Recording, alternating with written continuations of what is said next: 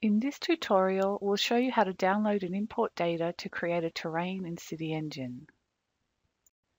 If you don't have aerial imagery or elevation data already, I'll walk you through an example of how to find these data here in the United States.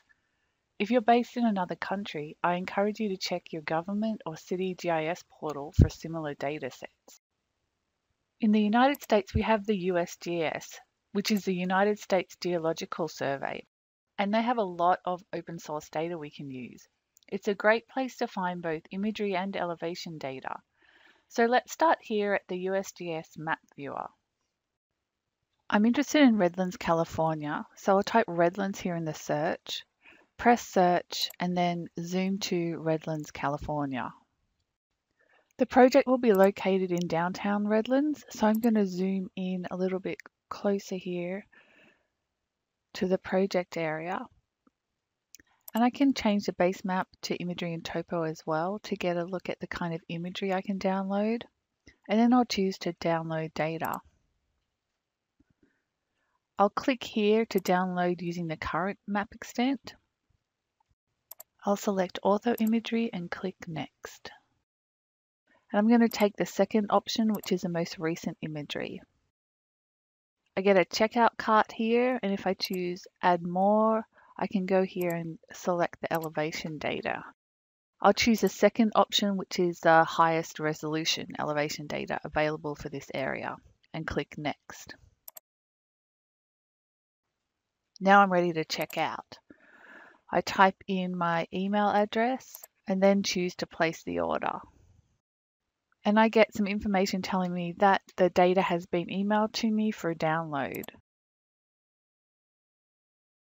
Once you receive the email, click on the highlighted link to download the data to your Downloads folder. Once the data is downloaded, we'll preview it in ArcMap. To prepare the data in ArcMap for CityEngine, First, we'll extract all of the files we downloaded. You can extract multiple files at once with a program like Bitstar.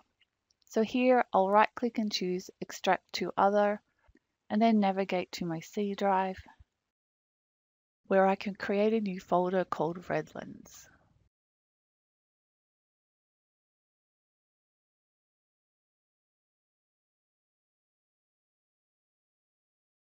And now I'll click OK.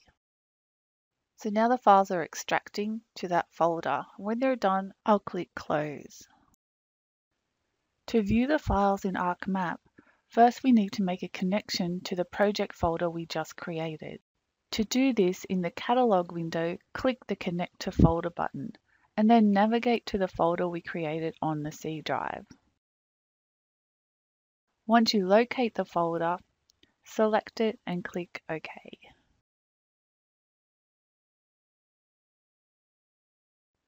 Now the folder should appear in your folder connections in the catalog window. To expand the folder, click on the plus sign, and now you can see we have access to all of the data we just downloaded. Our next step will be to add each of the images to the data frame so we can view them.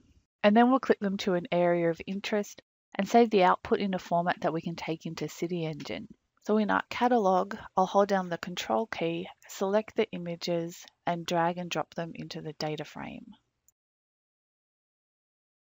Once all the images are loaded, we can see the full extent that the imagery covers.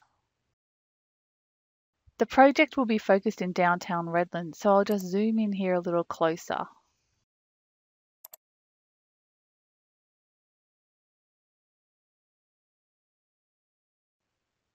Next, we need to create an area of interest polygon to clip the imagery to. For this, I'll use the Draw toolbar.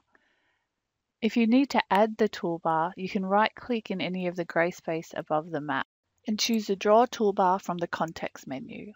Select the Rectangle tool from the Draw toolbar and sketch a rectangle around the area of interest. From the Draw toolbar, select Convert Graphics to Features. So here I'm going to specify the coordinate system be the same as the data frame and then specify the output of the feature class. For this project, we're going to create a new file geodatabase. So I'll click on new file geodatabase here And I'll call this Redlands underscore 3D. Double click on the database to open it and call the output feature class AOI. Then click Save. I'm going to check to automatically delete the graphics after completion and check OK. And then I'll say yes to adding the feature to the table of contents. Next, let's change the symbology so we can see the aerial imagery underneath the polygon. So if I click on the yellow polygon under the AOI layer in the table of contents, I open the symbol selector. And here I can adjust the symbology so we can see the aerial imagery underneath. Next, we'll use the geoprocessing tool to both mosaic the images together and clip them to our area of interest. Open the search window and type in mosaic to new raster. I'll select the first option here and then just drag and drop all of the rasters from the table of contents.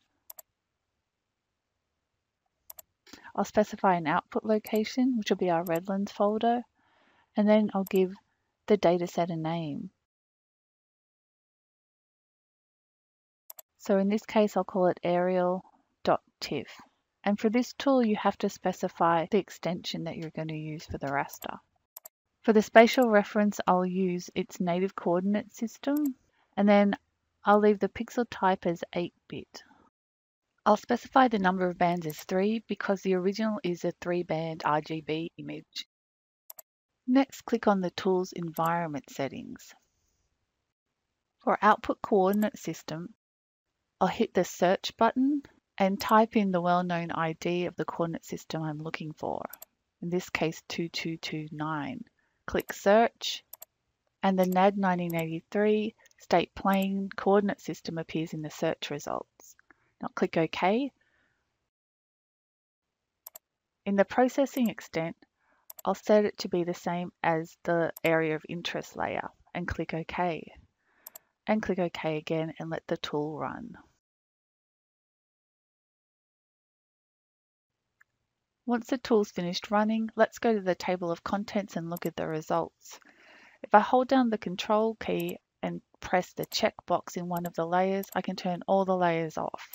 And now if I turn on just the area of interest and the aerial TIFF, we can see it's being clipped perfectly to the area of interest polygon. Now we need to do something similar to the elevation dataset we downloaded. From our catalog, drag and drop the elevation dataset into the map window.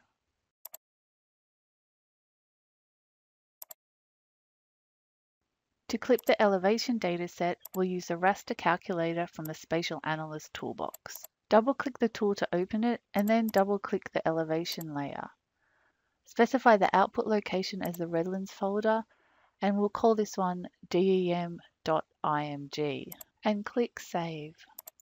For this tool's environment settings, set the processing extent to be the area of interest and the output coordinate system to be the same as the elevation layer. When we're finished, click OK and we'll let the tool run. Open the table of contents to examine the results.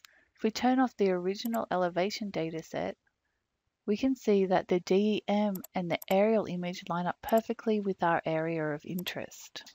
Depending on your computing power, you may want to change the size of the image a recommendation is to keep aerial images and DEMs to around 4000 by 4000.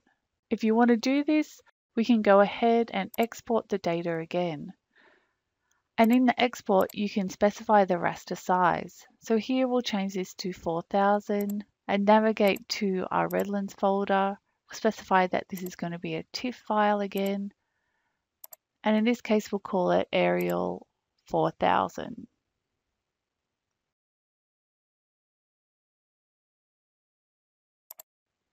and then I'll click Save. Once we've processed the imagery, it's ready to import into CityEngine. So let's go back to CityEngine. Once we're in CityEngine, we can copy and paste the aerial imagery and the DEMs that we process directly from our Redlands project folder into our CityEngine workspace.